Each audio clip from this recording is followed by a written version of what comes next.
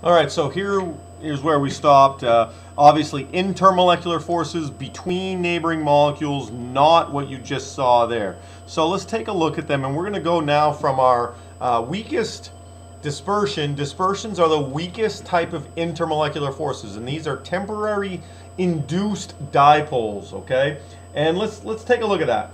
What a temporary, which means, of course, it lasts for a little while and then it doesn't, it, you get rid of it Induced means it's caused. Somehow it's caused to happen. And a dipole obviously is two poles. And so dispersion forces are temporary. They're induced. Something causes them to happen.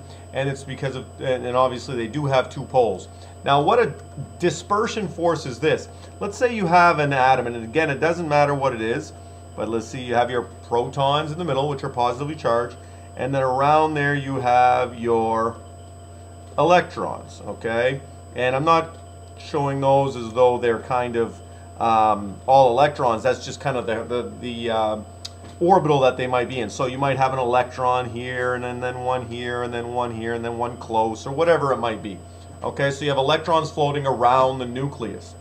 Now what happens is, and, and let me now kind of separate that, and let's draw that one more time. Here I'll draw um, we got our protons, and then I've got my orbital, okay? So we have electrons all around. Now what happens is, as another atom, let's say it's the same thing, could be something like a, in neon, let's say we have neon, obviously neon would have your 10 protons and mostly 10 uh, electrons, but as this one, this neon atom, which has the electrons moving all around the nucleus, starts to fly by, right? Because your electrons are moving around, mostly in gas, excuse me, your atoms are moving around in gases.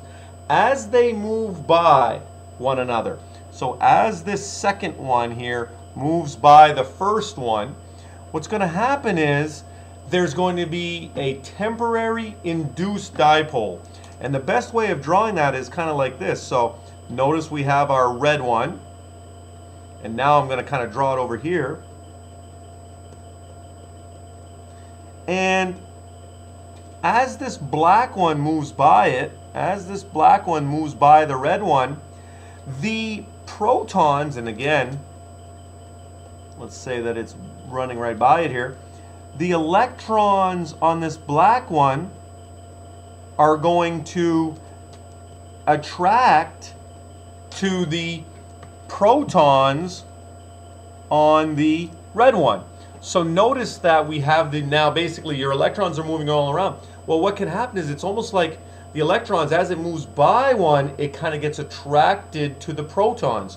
So because of course, these are not, these particles are not stationary. They're not just in the middle. So what happens is the electrons, which were, and again, I drew three, let's say over here, if I'm looking on this right side, these electrons, as this one moves by, they get attracted to that protons and so they arrange themselves closer to that molecule.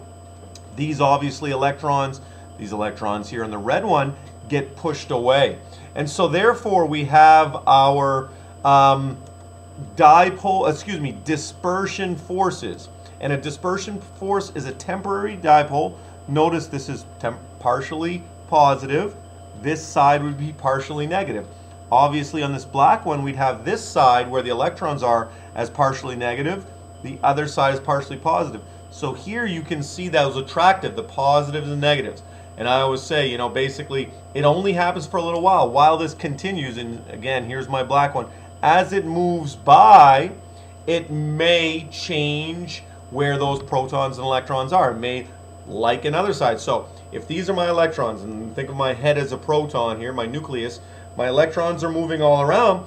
As I go by something, I might be attracted to that protons on one thing.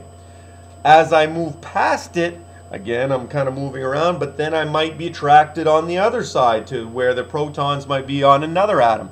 So it's temporary, it's induced. How is it induced? Because they're getting near each other. And it is a dipole, these positives and negative ends. It's very, very weak because obviously it's only temporary, but that's what dispersion forces are. We'll stop right there and then we'll move on to the next two. We only have two more I want to talk about, but that's kind of sometimes the more confusing one. Dispersion, weakest intermolecular, molecular, and again, it's between two neighboring atoms or molecules, and it goes away after it goes by something. So those are dispersion.